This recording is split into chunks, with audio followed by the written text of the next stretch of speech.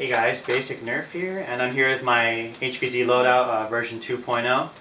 Um, calling it 2.0 not 1.5 or something because it's gone through, I think, a fairly amount, uh, fairly amount of good changes since my last uh, Summer Humans vs. Zombies video loadout. So first off, we'll start with the primary.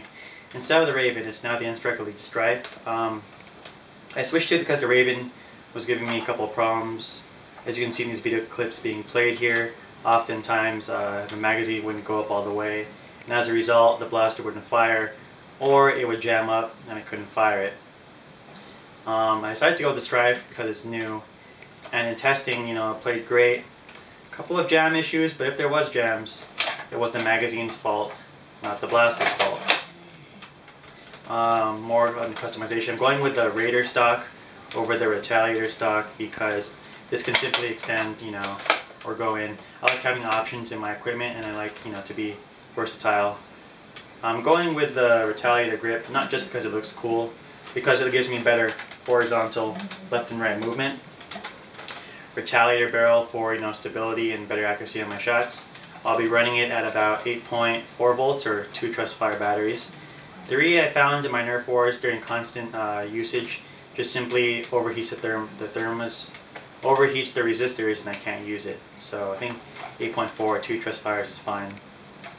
Um, I've also jungle clipped two magazines because just in case I run out of ammo in one during a crucial moment, I just have to, you know, switch over real quick. And it's really easy, just boom, and you're in the game.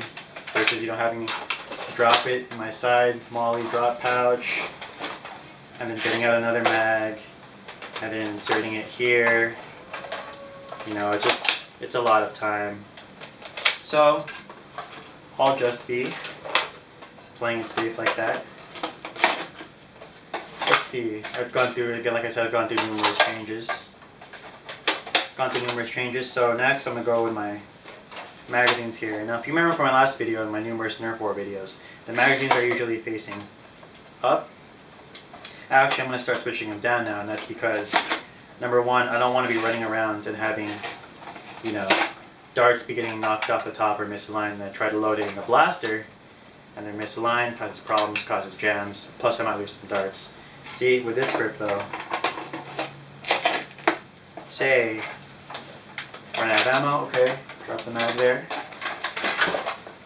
pull it out, they call this the beer can grip, simply flick the wrist and then move the blaster towards it, and it's in, you're good to go, you're back in action. Drop the mag if I need to, I said. And then grab it, flick it, put the blaster towards it, insert it, and you're back in. So that's a fairly simple method. I, I like still like popping it out more and just shoving it in.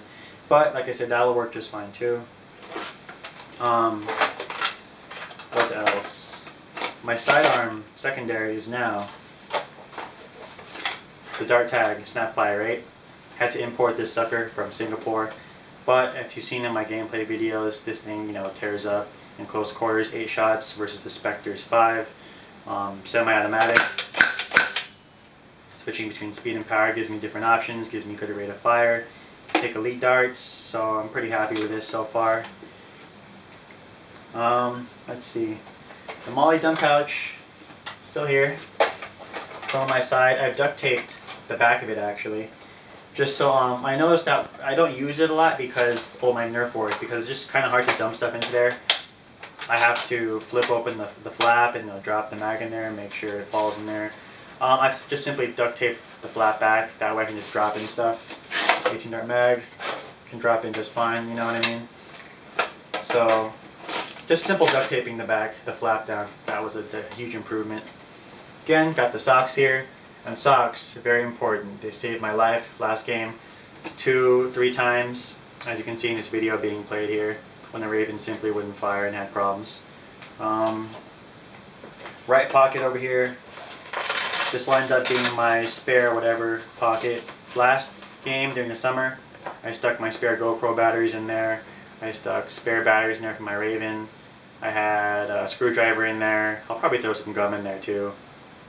So, you know, this Condor 7 pocket chest rig, still proving its use after all these months. Um, Again, cell phone slash radio pocket, putting my cell phone in there, or radio or whatever.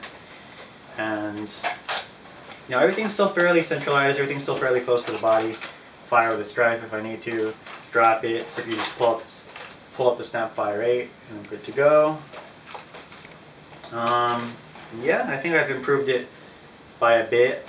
Um, at the same time, I know this isn't a MOLLE uh, chest rig sort of thing, so it's kind of limited by a little bit, but at the same time, Condor has made a good, fairly useful product that's very versatile in my opinion, and it gives you some good options still.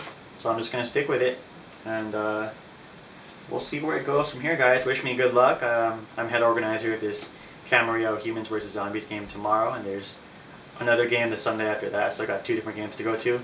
You guys will be getting plenty of HVZ footage. Um, follow my YouTube channel during the game, or tomorrow for you know live updates. I'll be vlogging from my cell phone, uploading on its 4G connection. And yeah, that's about it guys. Uh, peace I hope you guys enjoyed my new loadout video. If you have any tips or criticisms, feel free to let me know. And you guys have a good day.